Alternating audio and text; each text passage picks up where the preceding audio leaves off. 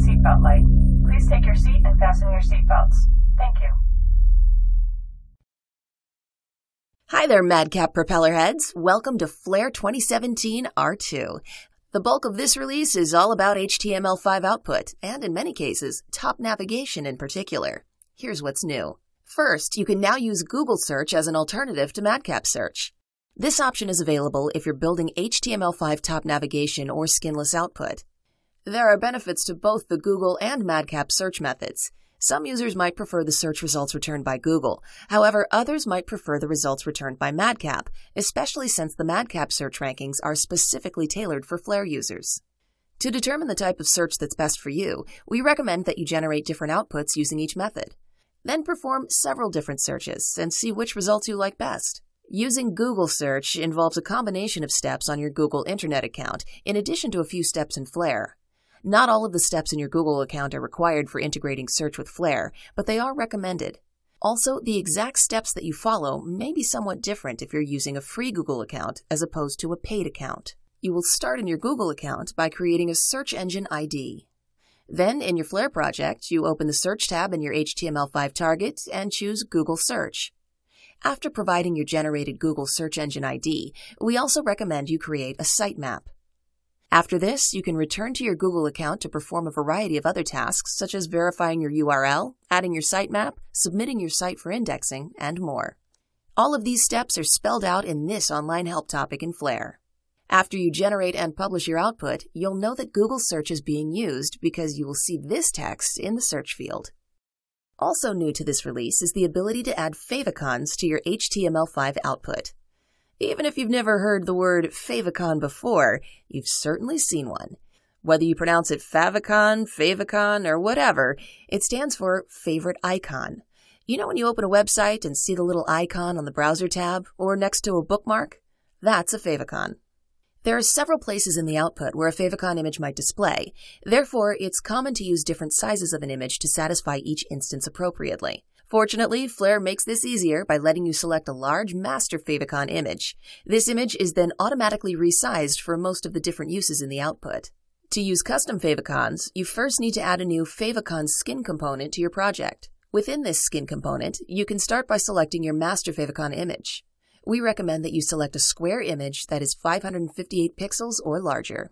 After you add this image, you'll see in the preview areas below that your image has been added. You will see three different areas. First, there's the browser area. This shows how your image will be seen in different areas of a standard browser, such as on tabs and next to bookmarks. If you expand the Options dropdown, you'll see some additional fields. If you entered a master favicon that was large enough, this image will be automatically generated and resized as necessary. The different sizes shown, 16, 32, and 96 pixels, are necessary due to the various types of browsers on the market, their age, and their resolution. You can override your image in any of these fields, but most likely you won't want to. Second, there is the iOS Android area. This shows how the image will be shown on iPhone and Android smartphone screens when a user adds a web page from your output to the home screen. If you expand the options area, you'll see that the 180 pixel image was auto-generated from your master favicon image. And third, there is the Windows area. This shows how the image will be shown in the tile format used in Windows 8 and Windows 10. When you expand the options area, you're going to see several fields. The first four fields have to do with the different sizes of tiles that users can view in Windows. The wide field won't have a generated image. That's because you chose a square image for the master favicon, and this field requires a rectangular image. Therefore, you can provide it manually in this field. The recommended size is 558 pixels wide by 270 pixels high. There are two other fields in this area. The first one lets you enter the URL where your output will be published.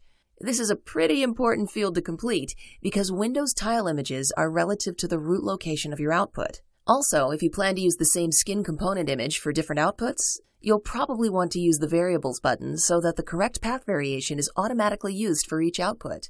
And finally, you can change the background color for your tile images. Another new feature in this version of Flare is fixed headers.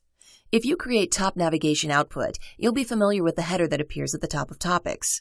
Normally, when a user scrolls down in a topic, this header disappears from view with the rest of the content. But now you can open your HTML5 skin, select the Setup tab, and tell Flare to keep that header in place. You can do this for large size screens, in other words, web, for smaller tablet or mobile screens, or for all of them. When users view a long topic and scroll down, the header will remain in view at the top. Not only can you fix headers in this version of Flare, but you can also fix topic menus. These are the menus that can be placed on the side of topics in Top Navigation Output. Normally, these menus scroll out of view with the rest of the topic content, but now you can open the skin component, select the Setup tab, and set the menu to be fixed. Like the fixed header, this can be done for the different sized screens used to view the output. But here's another wrinkle to this. Let's say you have a topic menu like those we included in the Top Navigation Project templates, where the menu floats to the right of some content with other content wrapping below it. And now you decide that you want that menu to be fixed in place. If you do that, you're going to notice that the menu will obstruct some text as users scroll down. A solution to this issue is to use a two-column format instead of a format where the menu floats to the right. With a two-column format, your content would display in the left column and the menu would display on the right column. To help you with this, we've added a few new files to our top navigation project templates. First, you'll notice that there are now two skin component files. In one of these files, the menu is not fixed, and in the other file, it is fixed. Second, in the Content Explorer, there is an additional master page that is designated for the two-column format, with the idea that the menu will be fixed. And third, you're going to see a second HTML5 target file. The first target file is integrated with the skin component and master page that do not use a fixed menu. The second target file is integrated with the skin component and master page that have a fixed menu and two-column format. So just use whichever setup that you like best. If you have an existing Flare project where you're building top navigation output and you want to use a two-column format with a fixed side menu, see this online help topic. It describes how to make the necessary changes to your project. There is another new feature related to topic menus. This is the ability to display headings instead of topics in the menu. In previous versions, you would open the menu proxy dialog and tell Flare which TOC or browse sequence that you want to be related to the menu. Then in the output, the menu would provide links to the topics in that TOC or browse sequence. But now you also have the option to choose headings. If you do that, the menu will not display links to other topics. Instead, it will display any headings and subheadings throughout the topic. By subheadings, we're talking about text using heading styles such as H1, H2, H3, and so on. Also, when viewing a topic that's set up like this, and the menu is fixed in place, each subheading section will be highlighted as you scroll down in the topic. You can also now use a tree format for slide-out menus and top navigation output. The slide-out menu is shown when users click the hamburger icon in tablet or mobile view. The drill-down format of this menu looks like this. With this format, any item containing sub-items has a double arrow next to it. When you click on an item, the entire menu changes, showing only that item and its sub-items. But now you can use a tree format instead.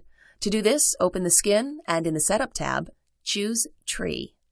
The slide-out menu will look like this. Any item containing sub-items has a down arrow next to it. When you click on that item, the sub-items are shown, but the rest of the menu remains in view as well.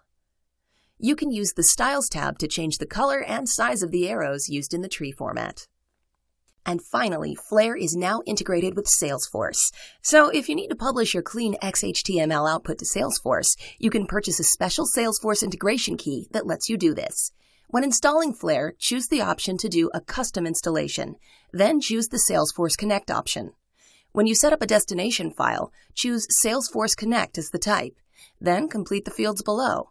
See this online help topic for details about each field and additional information you need to know about Salesforce integration. When you publish a target that's associated with that destination file, the output will automatically be published to Salesforce. For more information about all of these new features and a few more, see the What's New topic in the online help.